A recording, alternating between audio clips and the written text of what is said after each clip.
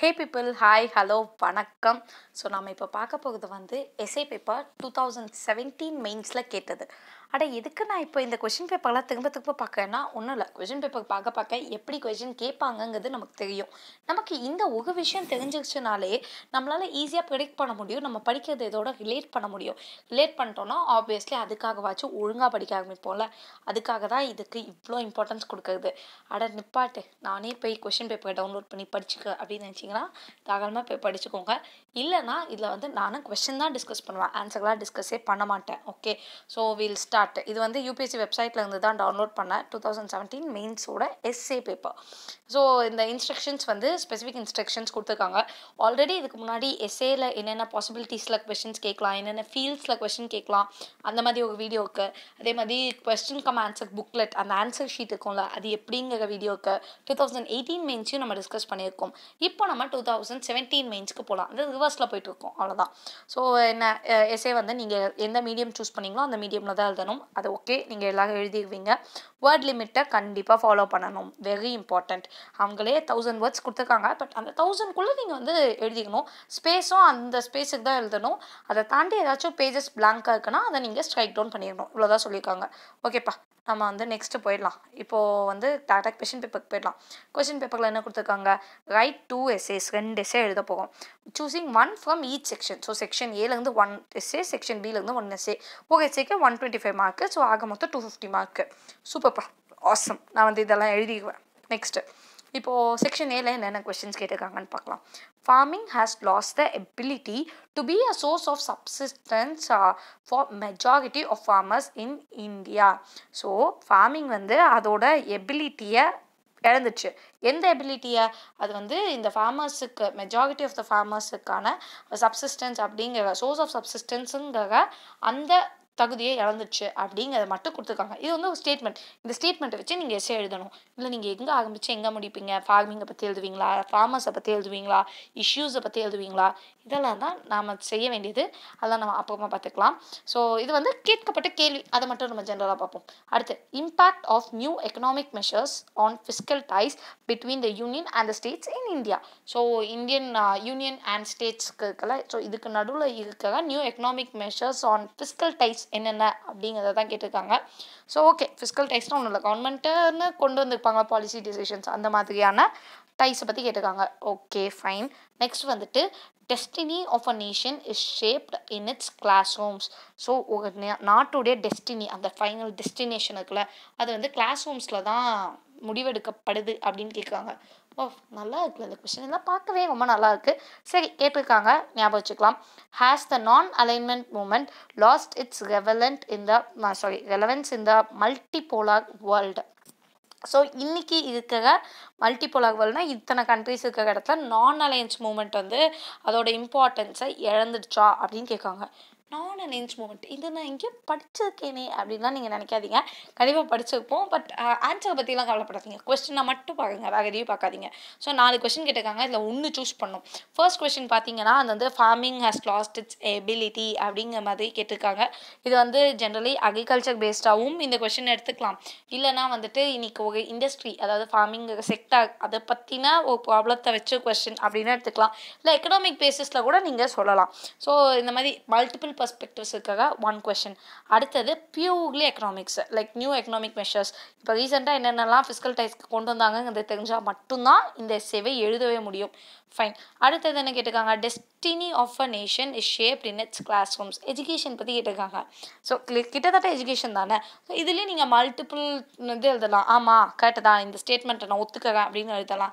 சாச்சா இந்த ஸ்டேட்மெண்ட்லாம் நான் ஒத்துக்கலப்பா. இது ஏதோ சும்மா ஒரு ஸ்டேட்மெண்ட்டுன்னு கொடுத்துருக்காங்கப்பா. அப்படிலாம் கிடையாது. அப்படின்னு நீங்கள் எழுதலாம். அதெல்லாம் உங்களோட விஷயம் ஸோ அவங்க கேட்டது அவங்க கொடுத்துருக்கிறது ஒரு ஸ்டேட்மெண்ட் அதை வச்சு எஸ்ஸே எழுதணும். எஸ்ஸேனா எவ்வளோ?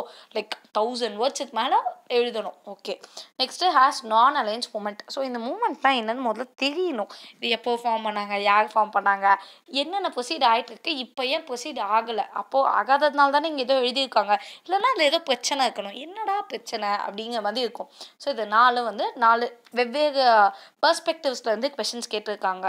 ஓகே ஃபைன் நெக்ஸ்ட் நம்ம பார்ட் பி போயிடலாம். பார்ட் பியில் பார்த்தீங்கன்னா joy is the simplest form of gratitude எவ்வளோ அழகாக இருக்குது கொஷினை வாசிக்கவே நல்லா இருக்குது joy is the simplest form அப்படின்னு கேட்டிருக்காங்க. Good fulfilment of new women in India is a Middha so மித்துனா என்ன? வாய்ப்பே இல்லை. அது வந்து சும்மா கட் கட்டுக்கதை அப்படின்னு வச்சுக்கலாம். ஸோ ஃபுல்ஃபில்மெண்ட் ஆஃப் நியூ விமென்னா ஸோ அந்த மாதிரிலாம் வேர்டே இல்லைங்கிற மாதிரி கொடுத்துருக்காங்க. Good we may brave sorry uh, we may brave human laws but cannot resist natural laws okay fine natural laws எல்லாம் நம்மளால் ரெஸ்ட்ரிக்ட் பண்ண முடியாதுங்கிற மாதிரி கொடுத்துருக்காங்க. குட் அந்த கொஷினே நமக்கு கொஞ்சம் கன்ஃபியூசிங்காக இருக்குது social media is inherently a selfish medium of very important தான். பிகாஸ் நம்மள எத்தனை பேர் நம்ம ஃப்ரெண்ட்ஸ் எல்லாம் வந்துட்டு அப்படியே இன்ஸ்டாவில் போஸ்ட் போட்டு இருபத்தி நாலு மணி நேரமாக லைக்ஸ்க்காகலாம் அலைஞ்சிட்ருப்பாங்க ஸோ எஸ் நீங்கள் அந்த கேப்பில் உட்காந்து இந்த வீடியோ பார்த்துட்டு இருக்கீங்கன்னா டெஃபினட்டாக நீங்கள் வந்து ரொம்ப சின்சியரான ஆஸ்பிரண்ட்டுன்னு எனக்கு தெரியுது. ஸோ வீல் கண்டினியூ இப்போ இதில் நாலு கொஷின் எல்லாம் கேட்டிருக்காங்க. Joy is the simplest form இது வந்து கைண்ட் ஆஃப் எத்திக்ஸில் கூட இந்த மாதிரியான விஷயங்கள் வரும். வாட் இஸ் ரியல் ஜாய் உண்மையான சந்தோஷம்னா என்ன? இந்த மாதிரியானது.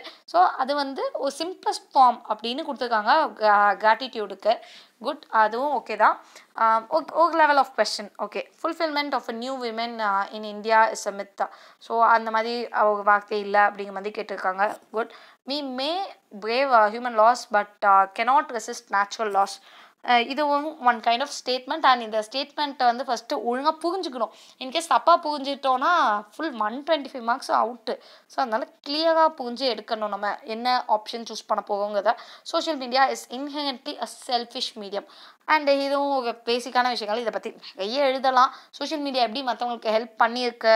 மேபி இந்த சென்னை ஃப்ளட்ஸாக இருக்கட்டும் இல்லைனா நம்ம நிறைய பார்த்துருக்கோம்ல சோஷியல் மீடியாவோட பாசிட்டிவ் சைட்ஸ் நெகட்டிவ் சைட்ஸு அதை விட ஜாஸ்தியாக இருக்குது செல்ஃபி சிங்கிள் செல்ஃபிக்காக உயிரை விட்டவங்க எத்தனை பேர் இருக்காங்க?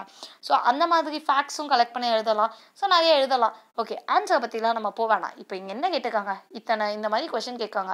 ஸோ இதெல்லாம் possibility two thousand eighteen SA paper பார்த்தீங்கன்னா அதில் என்ன மாதிரி கேட்டிருப்பாங்கன்னா எத்திக்ஸை கொஞ்சம் நிறைய அது ரிலவென்ஸாக கேட்டிருப்பாங்க. இதில் பாருங்க எக்கனாமிலலாம் டேரெக்டாக கொஷின்ஸ் கேட்டிருக்காங்க.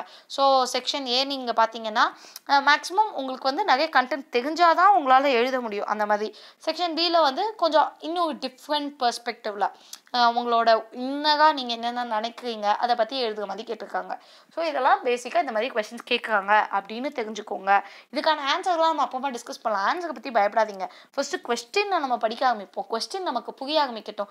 அப்பப்போ நம்ம ஆன்சர் கற்றுக்கலாம் ஓகே இப்போ இந்த ஜிஎஸ் இருக்கல GS one two three four இந்த நாலுத்தையும் நீங்கள் படித்து முடிக்கும் போது எஸ்ஏக்கு நீங்கள் ஆல்மோஸ்ட் ப்ரிப்பேர் ஆகிடுவீங்க ஜஸ்ட்டு இதை எப்படி ஆர்டர் பண்ணி எழுதணும்? எப்படி எப்படி அதை ப்ரெசென்ட் பண்ணணும்?